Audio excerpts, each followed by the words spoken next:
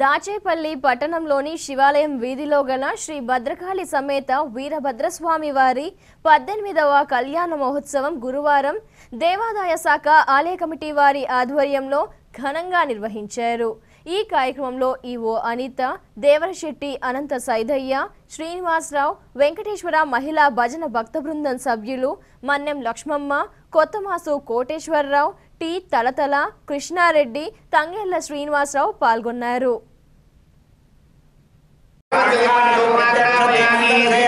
సాధ్యం